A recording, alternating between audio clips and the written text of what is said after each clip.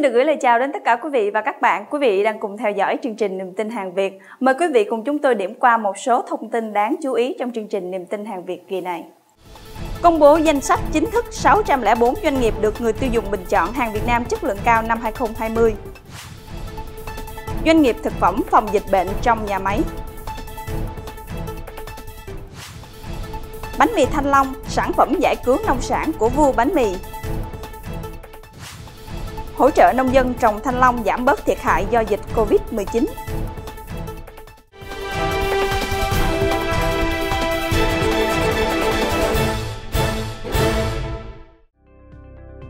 Cuộc khảo sát người tiêu dùng bình chọn hàng Việt Nam chất lượng cao 2020 do Hội Doanh nghiệp hàng Việt Nam chất lượng cao chủ trì đã bắt đầu từ tháng 10 năm 2019. Kết quả sơ bộ có 770 doanh nghiệp được người tiêu dùng bình chọn hàng Việt Nam chất lượng cao 2020. Danh sách sơ bộ này đã được công bố trên báo Sài Gòn Giải phóng, Thanh niên và các cổng thông tin của hội từ đầu tháng 1 năm 2020. Tiếp tục thực hiện công đoạn 2 của quy trình bình chọn, Hội Doanh nghiệp hàng Việt Nam chất lượng cao đã tiến hành kiểm tra, xác minh, đối chiếu, trong đó việc tiếp nhận hồ sơ minh bạch của doanh nghiệp, gửi thư tới các cơ quan chức năng quản lý nhà nước tại địa phương liên quan để ghi nhận thông tin chính thức về tuân thủ pháp luật kinh doanh của doanh nghiệp về chất lượng, môi trường, sử dụng lao động, bảo vệ quyền lợi người tiêu dùng. Sau hơn một tháng tiếp nhận hồ sơ minh bạch thông tin của doanh nghiệp, đồng thời tiếp nhận ý kiến phản hồi từ các cơ quan quản lý kinh doanh các địa phương mà doanh nghiệp đăng ký, Hội Doanh nghiệp hàng Việt Nam chất lượng cao tiếp tục nghe giải trình từ doanh nghiệp. Bên cạnh đó cũng xem xét thêm các thông tin từ giới truyền thông và người tiêu dùng. Và ngày 11 tháng 2 năm 2020, hội đã công bố kết quả với 604 doanh nghiệp chính thức đạt nhãn hiệu chứng nhận hàng Việt Nam chất lượng cao 2020 do người tiêu dùng bình chọn. Lưu ý, đối với các doanh nghiệp thuộc ngành điện tử đã nộp hồ sơ thông tin, ban tổ chức vẫn đang tiếp tục quá trình xem xét và yêu cầu bổ sung hồ sơ thông tin và các tài liệu liên quan về tiêu chuẩn và vận hành, đồng thời xin ý kiến tham vấn của các chuyên gia trong ngành về tình hình hoạt động sản xuất kinh doanh của doanh nghiệp.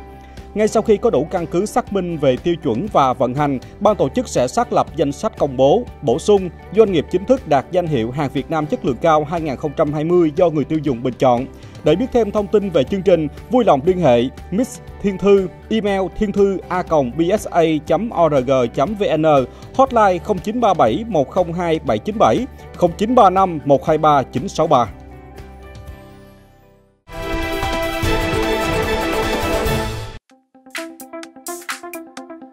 Đây là những hình ảnh mà chúng tôi ghi nhận được tại cổng ra vào công ty cổ phần Việt Nam kỹ nghệ xuất sản Vitsan. Bắt đầu từ ngày làm việc mới đầu năm 2020, Vitsan đã đưa đội ngũ bác sĩ của mình ra khu vực này để thực hiện các biện pháp đo thân nhiệt, kiểm tra tình trạng của công nhân hay khách hàng đến giao dịch. Bên trong khu vực làm việc của khối văn phòng, tất cả mọi người đều tuân thủ việc đeo khẩu trang, rửa tay bằng dung dịch diệt khuẩn để đảm bảo vệ sinh an toàn. Những thiết bị mới hay các thông tin tuyên truyền về dịch bệnh được lắp đặt, dán ở nhiều nơi để mọi người có thể dễ dàng sử dụng, nâng cao ý thức chấp hành. Cái thứ nhất là vấn đề tạo một sự nhận thức cho cái người lao động. Người lao động hiểu rõ được các cái cơ chế lan truyền nhiễm bệnh nó như thế nào xây dựng uh, các cái thông báo để cho họ họ họ nắm được những cái thông tin này chúng tôi thực hiện một số những cái áp phích trên cơ sở là những cái thông tin từ các cơ quan ờ, quản lý nhà nước trong cái chuyên ngành này. Xây dựng những cái chương trình hành động để mà ứng phó cái việc này. Về góc độ mà khẩu trang, thứ nhất là khuyến cáo những cái đơn vị nào thỉnh thoảng tiếp xúc với đông người thì chúng tôi khuyến cáo họ sử dụng nên sử dụng. Đơn vị sản xuất thì chúng ta có quy trình sản xuất trước đây rồi, nó đảm bảo được cái chuyện mà chống lây lan cái kiểu đó ở hệ thống mà phải tiếp xúc với khách hàng thì chúng ta bắt buộc phải đeo bao tay đeo khẩu trang tránh cái việc lây lan để cho cái người tiêu dùng người ta cảm thấy người ta an tâm hơn công ty tự nhiên đông người lao động mà qua cái đợt Tết vừa rồi nếu mà trong những trường hợp mà đi vào cái vùng dịch à, đi tiếp xúc với cái khả năng mà lây nhiễm cao thì chúng tôi yêu cầu họ có khai báo và à, lưu ý là một doanh nghiệp hoạt động trong ngành thực phẩm. Trước nay, tất cả các quy định về vệ sinh an toàn thực phẩm của Vitsan luôn ở mức cao. Trước tình hình dịch bệnh, những quy định này càng được siết chặt, kiểm tra và tuyên truyền thường xuyên hơn đến các bộ phận công nhân trong nhà máy. Trước khi vào từng khu vực sản xuất, chế biến sản phẩm, người công nhân phải qua nhiều công đoạn khử trùng tay và chân, với việc bắt buộc phải có quần áo, mũ bảo hộ. Thiết nghĩ không chỉ chia sẻ kiến thức, tuyên truyền nâng cao ý thức cho người lao động, sắp xếp giờ làm cho người lao động phù hợp, trang bị dụng cụ phòng tránh dịch. Tất cả những điều trên phần nào thể hiện trách nhiệm xã hội của doanh nghiệp với người lao động cộng đồng.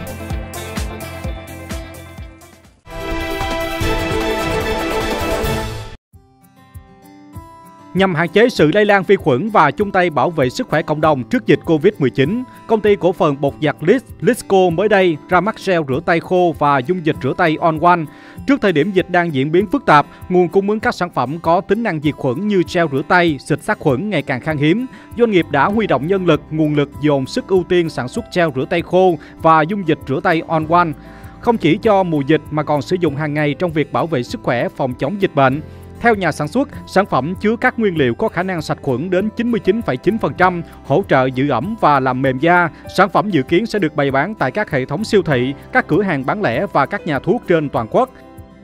Nhằm góp phần cùng chung tay chăm sóc sức khỏe cho cộng đồng phòng chống dịch bệnh, Lisco vừa qua đã phối hợp cùng Sở Y tế, Sở Giáo dục và Đào tạo, Sở Lao động Thương binh và Xã hội thành phố Hồ Chí Minh trao tặng hơn 5.000 lít gel rửa tay khô On One tới các bệnh viện, trường học, viện dưỡng lão, một số nhà ga, sân bay, nơi có lưu lượng người tập trung đông trên địa bàn thành phố Hồ Chí Minh. Đây là hoạt động ý nghĩa nhân văn mà doanh nghiệp đóng góp trách nhiệm với xã hội.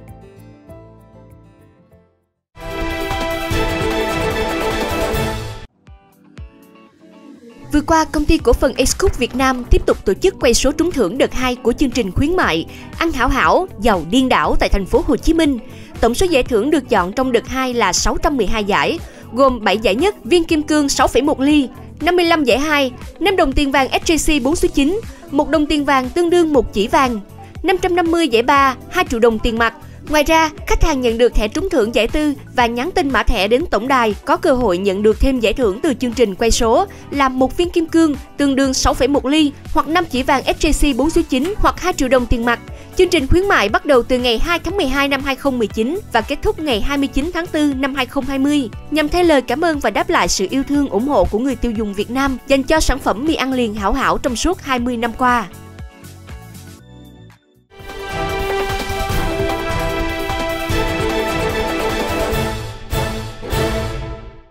Thưa quý vị và các bạn, vừa xuất hiện chỉ vài ngày gần đây thế nhưng chiếc bánh mì có màu hồng, nhiều hạt li ti đã gây nên cơn sốt tại thành phố Hồ Chí Minh. Đây là loại bánh mì được làm từ trái thanh long do vua bánh mì cao siêu lực nghiên cứu, sản xuất mang ý nghĩa hỗ trợ đầu ra cho thanh long của Việt Nam đang bị dồn ứ.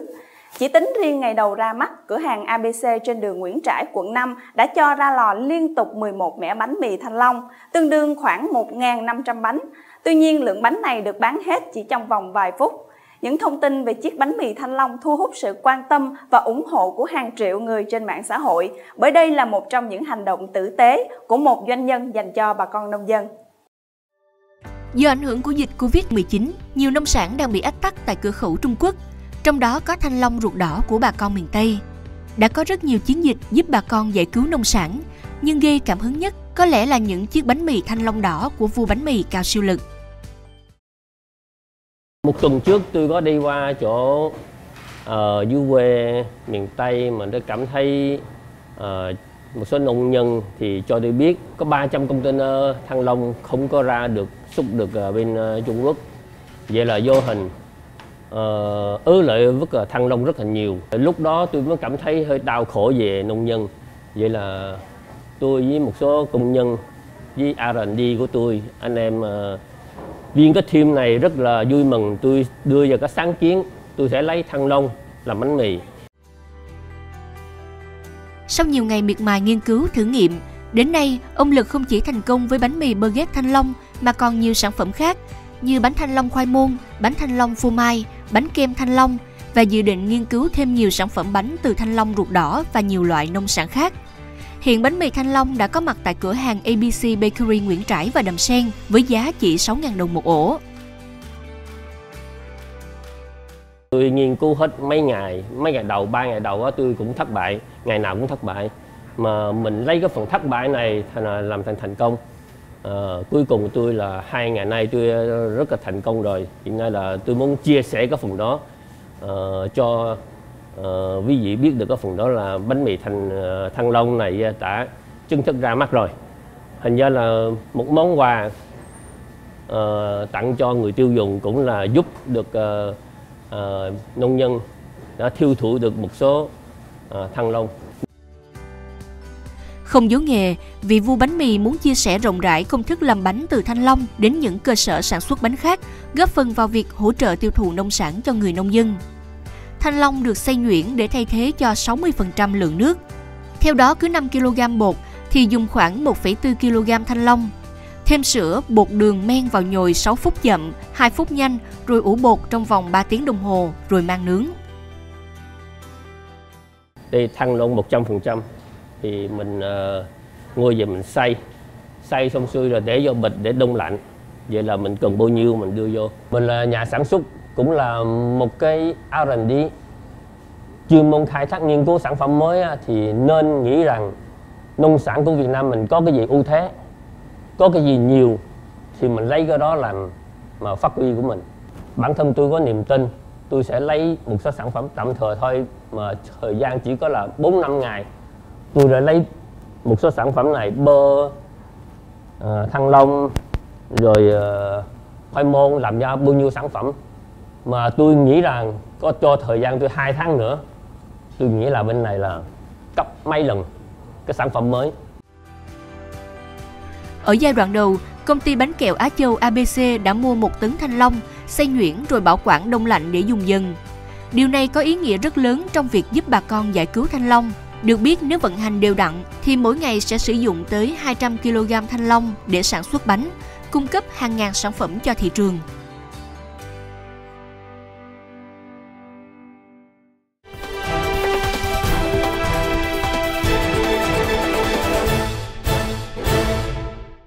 Thưa quý vị và các bạn, mùa thanh long đầu năm luôn là mùa có giá cao nhất trong năm và sản phẩm luôn có đầu ra ổn định nhất trong nhiều năm qua. Tuy nhiên, đầu năm 2020, nông dân nhiều nơi đang khóc ròng trên cánh đồng ruộng thanh long đang và sắp thu hoạch của mình. Dưới đây là những ghi nhận của chúng tôi. Đây là vườn thanh long ruột đỏ rộng 5.000 m2 của ông Huỳnh Văn Quang, tổ sản xuất thanh long Việt Gáp của Hợp tác xã Thanh Long Chợ Gạo, tỉnh Tiền Giang. Những trái thanh long ở độ thu hoạch này đang khiến ông Quang đau đầu vì giá quá thấp do ảnh hưởng từ dịch bệnh Covid-19 từ đầu năm đến nay. Dù vườn thanh long của ông Quang đã đạt tiêu chuẩn Việt Gáp nhiều năm nay, nhưng thanh long vẫn rất khó tìm đầu ra. Thương lái thậm chí cũng không muốn xuống thăm vườn lựa trái. Cái cơn dịch mà corona này nó gây ảnh hưởng lớn cho bà con nông dân mà sản xuất ở ngay cái giai đoạn này. Chẳng hạn như tôi đây thì là thanh long thì đang chín nhưng mà giá thành từ 33 30 rồi nó tuột xuống, còn 15 17 mà hiện tại bây giờ nó tuột xuống còn có 5 6 ngàn à. Mà bây giờ không có lái để mà mà mà mà đến mà thu thu mua cho bà con nông dân. Họ rất cực khổ, họ sản xuất ra ờ, cái trái thanh long nghịch mùa thì giá thành nó lên tới 10.000 đồng một ký. Mà giá bây giờ ờ, còn có 4 5 ngàn ký à thì như vậy thì bà con nông dân phải mang nợ ngân hàng. Thậm chí có những người là họ phải đầu tư tiền mà cái lượng tiền lớn quá thì họ phải vay hộ ngân hàng họ họ đầu tư để họ sản xuất. Rồi con cái học hành này cũng trông cậy cho cây thanh long. Không riêng vườn thanh long gia đình ông Quang, 28 thành viên trong tổ sản xuất thanh long Việt Gáp huyện Chợ Gạo tỉnh Tiền Giang cũng trong tình trạng tương tự. Thanh long chín đỏ vườn nhưng giá bán đang ở dưới đáy. Ông Trương Công Chiến, một thành viên trong tổ hợp tác Thanh Long với hơn 6 công đất, tức là khoảng 6.000 m2, cũng đang không biết xử lý sao với vườn thanh long của mình. Trái chính mà không bán được, mà để lâu sẽ ảnh hưởng đến cây, người nông dân đã lỗ, nay lại mất thêm tiền thuê người thu hoạch thanh long, nên khổ trăm bề. Trước khi Corona xảy ra thì tôi à, ba buôn bán thì giá cả cũng là chuẩn lắm. Nhưng mà từ Corona trở về đây thì tôi còn hai giường bắp bên, giờ không biết bán ra sao. Giá hiện trường giờ là luộc đỏ, bây giờ là chỉ còn có 5 ngàn là đẹp. Luộc trắng cũng 6 7 ngàn. Rồi nhờ là cái ờ, nhà nước can thiệp với bây giờ ở đây bán là bán, kiểu bán là ở trong nước thôi chứ không đi xa được. Nếu bình quân ờ, thanh long luộc đỏ thì một ký thanh long lỗ 5 ngàn 10 ngàn một ký. Còn luộc trắng thì giá 7 8 ngàn thì nó què tiền. Nhưng mà có người bán cũng 4 ngàn thì lỗ 2 3 ngàn ký. 5 ngàn mét vuông này á tôi đầu tư cái cái cái cái điện mà xong cho nghịch mùa này á, thì à, cái lượng điện này nó lên gần tới 6.000 kW điện. Cái cái sản lượng của cây thanh long á, thì 5.000 mét vuông này tôi đổ khoảng chừng 7 tấn cho đến 7 7 tấn rưỡi. Mỗi một tấn tôi phải đi lỗ đứt là khoảng chừng 5 triệu. 7 tấn thì tôi phải lỗ là ba mươi mấy triệu rồi. Một năm mà có có có một vụ mùa trong đèn mà bị lỗ ba mấy triệu thì tôi nói là chắc năm thứ hai nữa là họ tiến hành họ phá cây thanh long này chứ họ không có mạnh dạn. Họ, họ đầu tư cho cây thanh long. Hoặc là ông nào mà muốn trụ lại thì ông để lấy cái mùa hàng mùa tự nhiên thôi chứ ông không không có dám mà sản xuất nghịch mùa. Thưa quý vị và các bạn, dịch bệnh COVID-19 khiến con đường tiêu thụ trái thanh long của Việt Nam tắc nghẽn. Giá thanh long tại các tỉnh miền Tây đã rớt chạm đáy. Trước tình hình này, thì công ty Hiệp Thanh cùng sự tư vấn của Trung tâm Nghiên cứu, Kinh doanh và Hỗ trợ Doanh nghiệp BSA đã có những kế hoạch cụ thể giúp người nông dân trồng thanh long ở hai tỉnh Tiền Giang và Long An. Là một đơn vị có nhiều hoạt động gắn liền với nông dân, hợp tác xã nông nghiệp, công ty trách nhiệm hữu hạn Hiệp Thanh hiểu rõ người nông dân trồng thanh long đang gặp nhiều khó khăn trong giai đoạn này. Trước tình hình này, Hiệp Thanh chủ động hỗ trợ nông dân trong hợp tác xã qua chương trình vượt khó có Hiệp Thanh với các biện pháp như hỗ trợ mỗi nhà nông những chai phân bón dưỡng cây, nuôi hoa 500ml trên 200 lít nước sử dụng được cho 1.000 m vuông đất. Trung bình mỗi người dân nhận được ít nhất 3 chai trở lên hỗ trợ mỗi nhà nông 50 kg phân hữu cơ vi sinh có tên gọi Happy Vi sinh 90. Phân này sử dụng cho 1.000 m2 đất, giúp cây thanh long duy trì sự tăng trưởng, giúp đất tơi xốp, hệ vi sinh vật phát triển và hạn chế nấm bệnh tấn công vào vùng rễ cây. Mời chuyên gia đến tư vấn, hướng dẫn nông dân chăm sóc cây thanh long nhằm giúp cây không bị mất sức, hạn chế nấm bệnh tấn công bằng kỹ thuật canh tác hỗ trợ nông dân khẩu trang y tế, nước sát trùng, hướng dẫn nông dân cách khuyến cáo của Bộ Y tế về cách hạn chế sự lây lan của dịch bệnh. Bên cạnh đó, nông dân khi đến địa chỉ mua phân bón thuốc bảo vệ thực vật được trợ giá 20% và được phép thanh toán tiền mua vật tư nông nghiệp sau 60 ngày kể từ ngày nhận hàng nhằm chăm sóc cây trong giai đoạn khó khăn này. Hiện tại thì à, công ty à, Hiệp Thanh đang triển khai một số các chương trình giống như là chương trình à, vượt khó có Hiệp Thanh thì để hỗ trợ bà con mình trồng thanh long có tham gia trong cái hợp tác xã hoặc là một số cái tổ hợp tác sản xuất. Chương trình này thì nó không tính về giá trị kinh tế hoặc là cái vấn đề lợi nhuận gì hết. Hiện tại là công ty đang hỗ trợ khu vực Tiền Giang, Long An và chuẩn bị triển khai trên một số cái khu vực cây ăn trái khác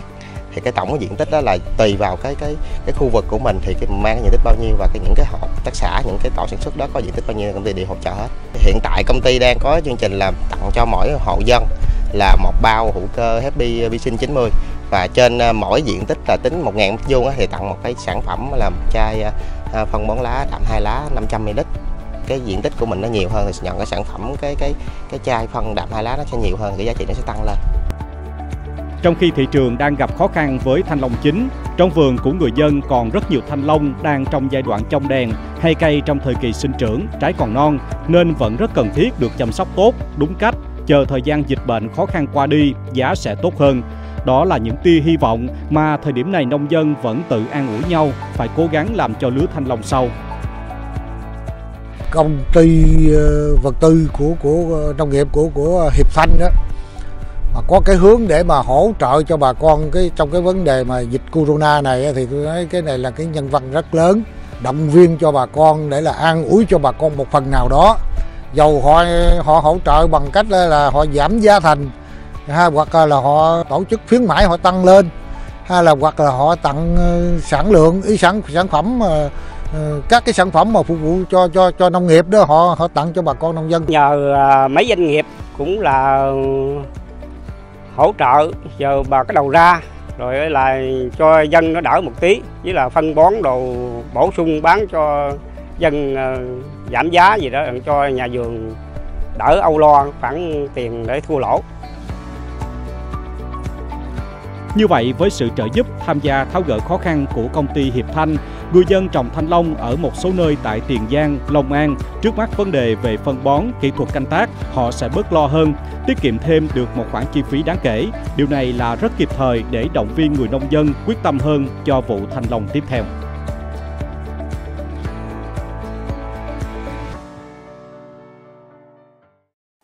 Vị và các bạn, việc giúp đỡ cho người nông dân trồng thanh long có nhiều cách khác nhau và trong những phóng sự tuần tới, chúng tôi mời quý vị và các bạn cùng đón theo dõi. Còn bây giờ xin chào và hẹn gặp lại quý vị trong những chương trình Niềm tin hàng Việt kỳ tới.